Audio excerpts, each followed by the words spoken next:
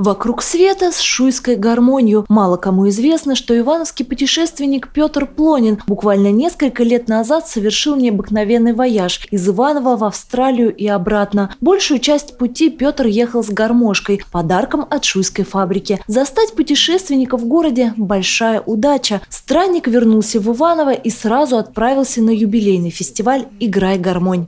И я, конечно, просто-напросто э, сразу же зажегся э, как-то отблагодарить хотя бы шуян вот этой информации. Они сами не знают, что и гармошка дошла до Сингапура, вот, доехала благополучно. Это такой инструмент, который сразу хватает человека за сердце. О своем втором большом путешествии рассказывает с ностальгией. Первую кругосветку, попавшую в Книгу рекордов Гиннесса, Петр совершил на Владимирских тяжеловозах, а вот второй путь проехал уже на велосипеде. Сотни километров через жаркие пустыни, оживленные города и экзотические джунгли. Часть пути с ним прошел друг, известный путешественник Николай Давидовский. В целом странствие растянулось почти на 8 месяцев.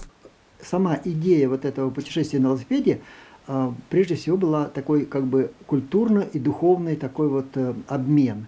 Потому что люди, как сообщающие сосуды, они обязательно вот как бы это. И человек, э, когда путешественник в чужой стране, обязательно к нему и внимание, и все прочее. Вот. И здесь вот гармония, она была как своего рода, как э, доказательство, что я русский. То есть она все равно про, прошла со мной вот эти вот страны, как бы э, по части России кусочек, вот по Бурятии, потом Китай, потом э, э, э вот, да, по, после Бурятии Монголия, Китай, э, дальше после Китая Вьетнам, Лаос, Таиланд, Малайзия и Сингапур. Петр рассказывает, без гармонии в путешествии никак. Берет тоска по родине. Хочется сыграть или напеть знакомый мотив, чтобы хоть на минутку почувствовать себя дома. Шуйская гармонь сопровождала странника по меньшей мере половину пути. Но, увы, любимый инструмент пришлось оставить в Сингапуре. Гармонь Петр подарил настоятелю местного храма.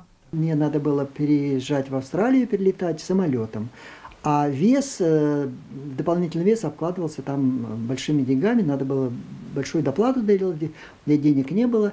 И я и велосипед оставил в Сингапуре свой, на котором доехал э, до Сингапура, и э, гармошку. Конечно, как бы друзей не предают, но так вот получилось. Рассказывает с гармошкой, словно потерял часть души, потому когда наконец вернулся домой, поспешил приобрести новую. Долго выбирал, но ни одна, говорит, не звучала. И только недавно в комиссионном магазине Петру посчастливилось приобрести то, что так долго искал.